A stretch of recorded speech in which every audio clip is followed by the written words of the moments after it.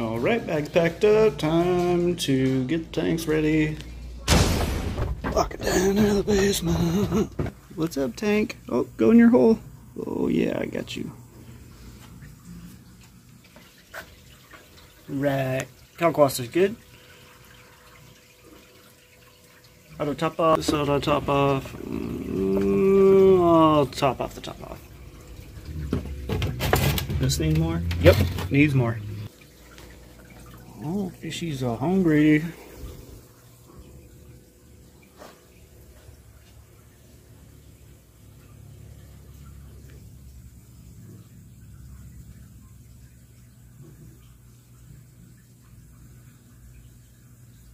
Nom nom nom nom nom nom nom. Oh, you smell that, Ochaka? Get you some, girl. No niblets.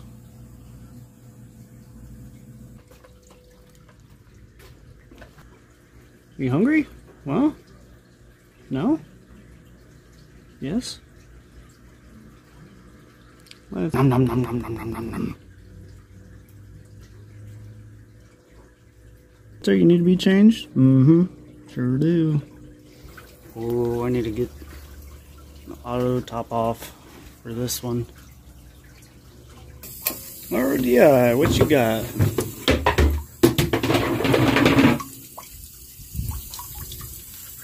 Need some more water. May, are you ready to go to Grandpa's? Are you ready to go to Grandpa's? Are you scared about everything? Making any water there, Rody? Yeah! Lots more. Food waterfall.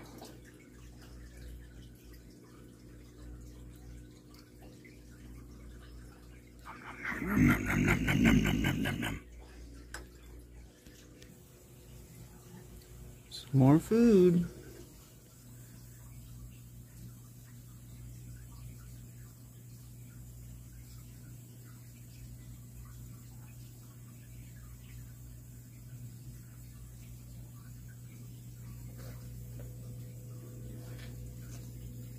How about now, water? Close enough.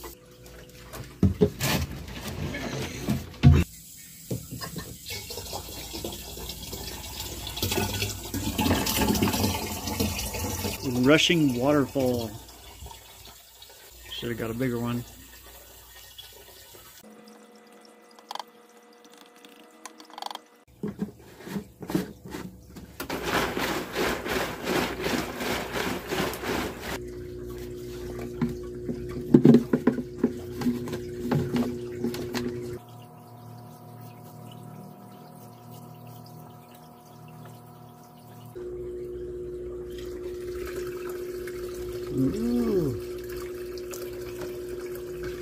Oh, hello.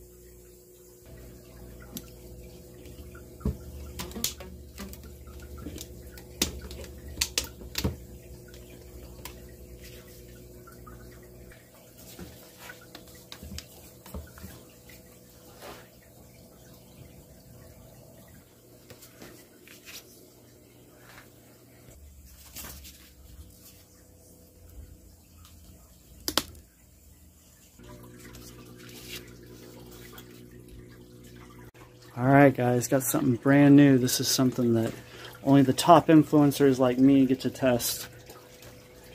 It's the Neptune Dose 4. Four dosing heads. All manual. I'm using this to dose top off to this tank. Buy number one. Buy cycling fish tank. Buy simulators buy copepods in the quarantine tank, Bye, copepods in the swamp tank. Bye, everyone. Alright, I'm back. Got back last night uh, about 10.30 instead of 6.30. Thanks a lot, Alaska Airlines. You suck. Uh, but came back and um, good news is is that I know my tank was fed. Um, this Bryopsis uh, kind of got out of control, but um, I don't really care about that. I'm about to go flux and um, get rid of all this crap. But good news is all the corals are doing awesome. I got some bubble algae that's uh, looking great and healthy. Uh, this Kelly Green Psammocora, by the way, this Kelly Green Psammocora right here is like really vibrant and bright. You can see it right there. Uh, these like Laker scrolls um, are coloring up nicely as well. All the polyps are out on these zoas. Digi's looking awesome. Cup corals looking BA. Over here looking really good too. Uh, if you can see them through the Bryopsis. But that's the Hawaiian uh, Ding Dangs, I believe. And these are the WWC watermelon zoas. So I'm taking these two Zoa rocks out and I'm going to give them a hydrogen peroxide bath. And I'm going to give that one a bath too to get the other Zoas over there on top. Um, but when I got back, this chamber back here was uh, almost completely empty. And uh, I jiggled the hose a little bit and some stupid kalkwasser had gotten clogged up in the ATO tube. I mean, my fault for doing kalkwasser and ATO, but whatever. This is kind of like an experiment tank. Uh, the basement doesn't go through a whole lot of seasons down here, so the evaporation stays pretty even. Um, so yeah, I just uh, I got some some fresh non-calc RO water and filled that back up. Uh, when I got over to this one, this one was sucking air. Uh, and so I got some RO water and topped that bad boy off. It's looking fine. Got salt working. Um, so the basement got a little bit warmer and due to that, my evaporation calculations um, didn't do so well for the Sinularia tank. It was a little bit low, but not too bad. It was like 1.023 maybe, almost 4. And so that's not that bad. I mean, they're still doing great. This one that just got cut is uh, already starting to grow new heads. And same with that one, and all the other ones are doing fine. Uh, the swamp tank is doing just fine. Uh, there's even more copepods and amphipods than I've seen before. So that's cool. And this one, for some reason, the ATO was on for a little bit too long and the water is a little bit high. It's at 1.023 for salinity. So I uh, cleaned the sensor.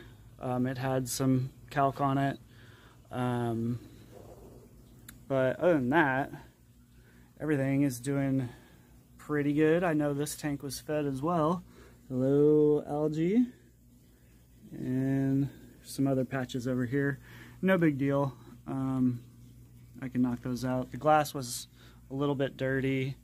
Um, but yeah, all the corals are super happy and healthy. So that's good.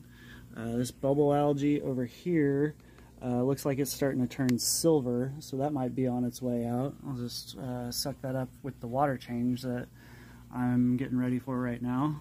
Um, the branching GSP has started to grow onto the rock, so that's exciting. The Galaxea is getting better, looking a lot bigger.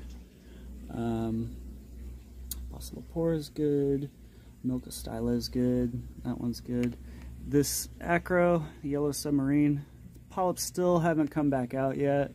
Um, with the salinity swing, I kind of am doubtful that it'll make it, but it still has all its skin. I haven't seen any sort of uh, tissue necrosis, so that should be all right. And then, yeah, all the other corals are good. One of these uh, mushrooms down here, that one's almost split, and then that one uh, has already split its bottom end and has kind of circled up. It's hard to uh, get a good angle on it. But uh, yeah, everything else is doing really good. Chain reaction right there is looking awesome. That one's doing okay. Fiji leather is good.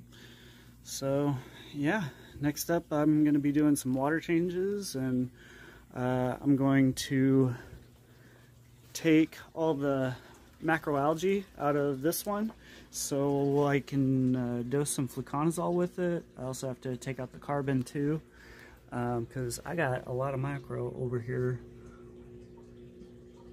It's growing all up the side wall right here.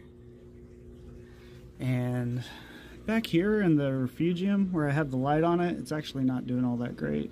Might be getting burned. It, the water level was really low, so that might have been an issue too. Um, but I'm taking it out anyway while I dose fluconazole. And yeah, that's about it.